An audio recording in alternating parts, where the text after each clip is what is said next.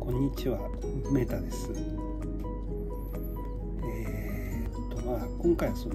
うつ病についてまあお話ししたいと思います。まあ今ちょっと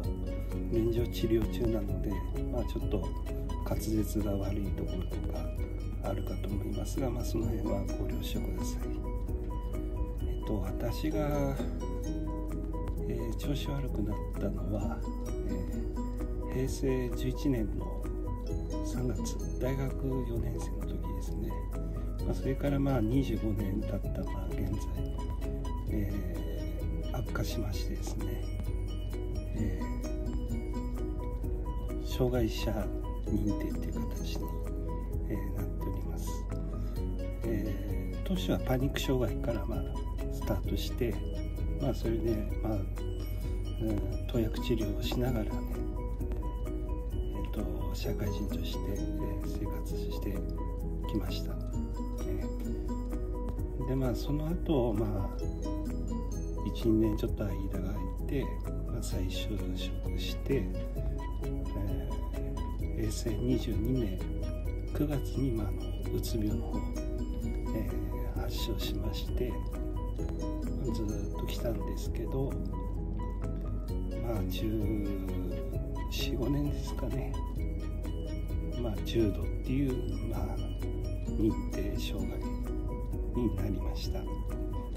えー、普通はこう軽くなるはずなんだけどもやっぱり中にはあの私みたいにねあの重症する方もいるのは間違いないです。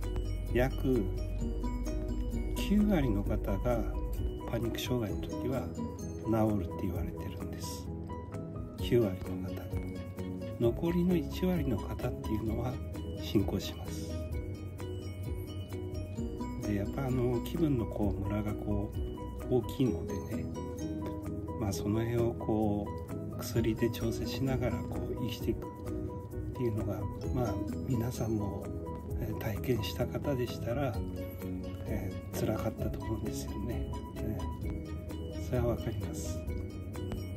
でいろいろ考えちゃうっていうのも良くないしまあ、まあ、そうはそうは言っても人だから考えちゃいますよね、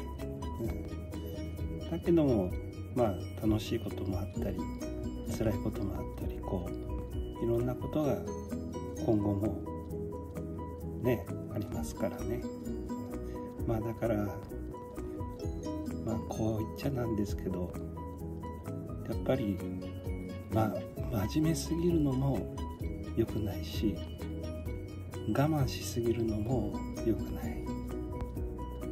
それがこうやっちゃうと例えばこうギャンブルに行っちゃったりね買い物を買っちゃったりね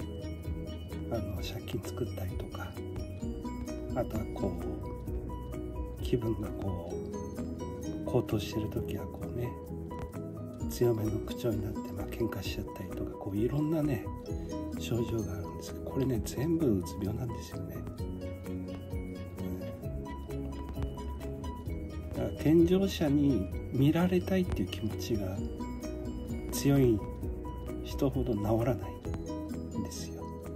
適当に思ってる方が治るって私は思ってますね。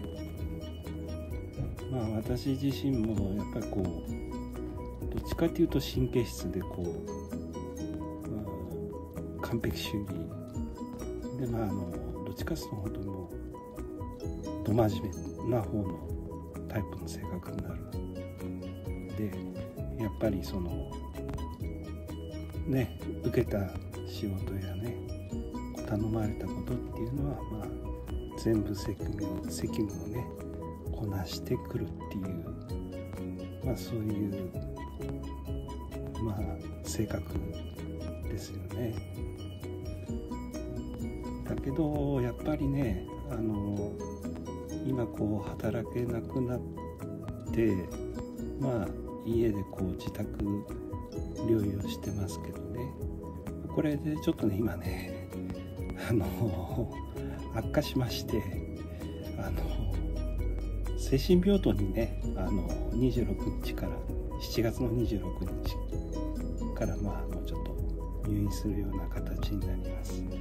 ま、いろいろこう動画自体こう初心者なもんでねなかなかアップロードすることができなかったですけど、まあ、これから少しずつ、まあ、こういった風にこう喋っていこうかなとは思ってます。でやっぱりそのみんな多分仕事ができなくなるとやっぱお金困ると思うんですよね。まあ、だからまあそういった時のまあ対処法とかいろいろあるので、